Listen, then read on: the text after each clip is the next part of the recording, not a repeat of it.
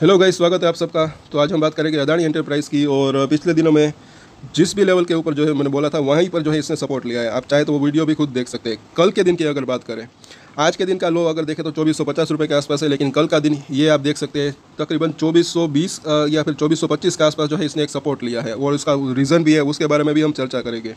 फ़िलहाल देखें तो फाइव नाइन और इक्कीस दिन का मूविंग एवरेज के नीचे काम कर रहा है ये। आज भी देखें तो एक परसेंट के आसपास की गिरावट देखने को मिली, और आगे देखते हैं, जैसे कि यहाँ पर आप पंद्रह मिनट का चार्ट अगर देखें तो नीचे में एक जिक्जैक मोमेंट में परसों के दिन अगर देखें तो फ्लैट सा कारोबार था, थोड़ी सी अगर देखें तो कल के दिन अगर देखें तो एक नीचे में इसने सपोर्ट लिया था।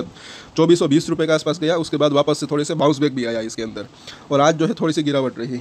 और यहाँ पर अभी देखें तो वॉल्यूम अगर देखें तो वो ठीक ठाक बना हुआ है, ना कम है, ना ज़्यादा है, ऐसा लग रहा है। वीकली चार्ट के ऊपर अगर आप देखेंगे तो यहाँ पर आप देख सकते हैं वो लो को। कल का आई थिंक ये कल का लो ही है। और इसका एक रीज़न भी यहाँ पर आप देख सकते हैं कि जो मूविंग एवरेजेस होती है वो भी काफ़ी मायने रखती है। आप खुद देख सकते हैं कि इक्कीस वीक का जो मूविंग एवरेज है, वो जो है चौबीस सौ का है। उसी के आसपास जो है मुझे, मैंने बोला था कि ये सपोर्ट ले सकता है। पिछले हफ़्ते अगर आप देखेंगे तो ये चौबीस से थोड़ा सा अलग था। तो यहाँ पर इसने सपोर्ट लिया है और कुछ मुझे कमेंट्स भी आए थे कि कुछ लोगों ने जो है यहाँ पर इंट्राडे किया था और यहाँ पर जो है बाइंग की थी और उसको थोड़ा सा फ़ायदा भी हुआ है। तो अच्छी बात भी रही। अगर आपकी भी इसके अंदर होल्डिंग है तो इसके ऊपर हम डेली अपडेट लाते हैं तो सब्सक्राइब ज़रूर कर लेना जिन्होंने अब तक सब्सक्राइब नहीं किया। और यहाँ पर अभी देखेंगे तो फाइव डेज़ का फाइव वीक का मूविंग एवरेज और फाइव नाइन वीक का मूविंग एवरेज उसके नीचे ये काम कर रहा है और 21 वीक का जो मूविंग एवरेज है उसके ऊपर काम कर रहा है। तो प्राइस एकदम अगर देखें तो नेरो रेंज में बना हुआ है। बीच में अभी जो है ये खड़ा है। और डेली चार्ट के ऊपर जब हम देखें तो एक अच्छी खासी यहाँ पर एक तेज़ी आई थी, सत्ताईस के आसपास, उसके बाद गिरावट, फिर एक बाउंस बैक आया, अब फिर से इसके अंदर जो है ये गिरावट आ रही है। तो यहाँ पर देख कहीं ना कहीं एक ये चौबीस का जो जोन है, यहाँ पर जो है ऐसा लग रहा है कि इसको एक सपोर्ट मिल रहा है। जैसे कि ऑलरेडी जो है चौबीस के आसपास इसने सपोर्ट ले लिया है। और यहाँ पर सपोर्ट और रजिस्ट्रेशन जो है वो हम देख लेते हैं बिकॉज़ की वो ही जो है काफ़ी मायने रखता है, अगर आप एक ट्रेडर है तो।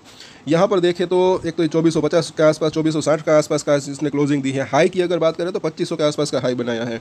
पिछली बार भी बोला था मैंने कि पच्चीस सौ रुपये से लेकर पच्चीस सौ बीस का जो जोन है, ये एक जो है अभी भी रजिस्ट्रेशन बना हुआ है। पिछले दिनों में भी अगर आप देखिएगा तो इसी जोन के आसपास इसने जो है रजिस्ट्रेशन फेस किया था।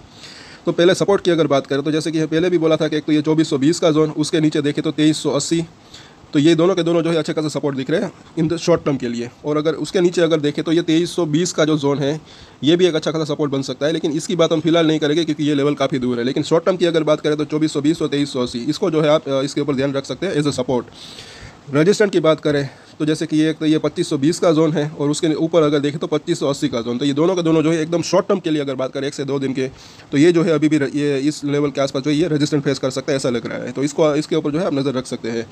आज के वीडियो में इतना ही। अगर अच्छा लगा तो लाइक शेयर एंड सब्सक्राइब कर ले। और एक स्टैंडर्ड डिस्क्लेमर जो कि मैं हमेशा देता हूँ कोई भी ट्रेड ले, उससे पहले अपनी रिसर्च करें, अपने फाइनेंशियल एडवाइजर की सलाह ले, उसके बाद ही कोई डिसीज़न ले। और डिसीज़न ले तो उसकी ज़िम्मेदारी मेचोरिटी के साथ खुद ही ले। वीडियो मैंने एजुकेशन पर्पस के लिए बनाए मेरी तरफ़ से कोई भी बाई एस की रिकमेंडेशन नहीं है। Thank you